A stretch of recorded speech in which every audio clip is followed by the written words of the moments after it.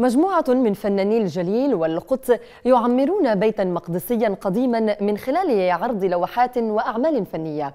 معرض من الجليل إلى القدس يحتوي على كم من الجمال والإبداع والثقافة ويتمحور حول نقطة مشتركة وهي فلسطين.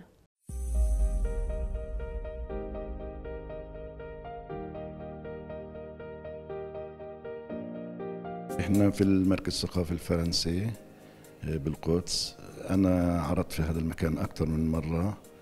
آه، فشد المكان وكان فكرة إقامة المعرض إنه يكون آه، ست فنانين من الجليل وست وسبع فنانين من القدس.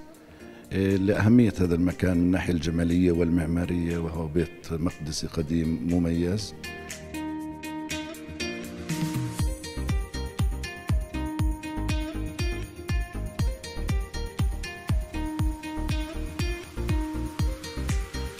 بدأت الفكرة بالتنسيق مع الأخ آه، سميح الجعفري منسق المعارض في المركز وهو اللي صمم الكتالوج والبوستر وكل ما يتعلق في هذا المعرض ومن كمان التنسيق.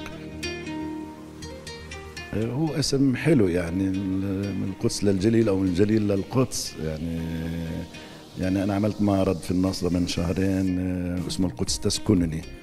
وعملت في كفر ياسيف يعني عشان تعرف إنه إحنا تجاربنا قديمة واتصالاتنا قديمة ومعارضنا قديمة مع آه، فناننا في الشمال. آه، هي الفكرة من جليل القدس إنه إحنا الأعمال الفنية في شيء بيجمعها مشترك هو فلسطين بشكل عام. طبعا آه، رسالتنا مهمة إنه فيش فصل بين فنان فلسطيني ساكن بالناصرة وفنان فلسطيني بالقدس. إحنا بيجمعنا قضية واحدة قضية فلسطين قضية وطنية. تجمعنا آه، الجمال والإبداع والثقافة.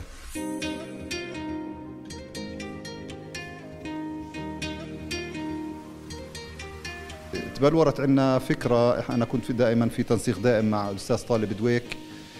اللي كان لنا الشرف نشتغل معه مرة مرة تانية. وكان الحكي من فترة طويلة كنا بنحكي عن معرض جماعي يجمع نخبة من الفنانين الفلسطينيين. وفي النهاية ب 2019 تمكنا إنه ننظم معرض من الجليل إلى القدس. شارك فيه ست فنانين من الجليل وسبع فنانين من القدس.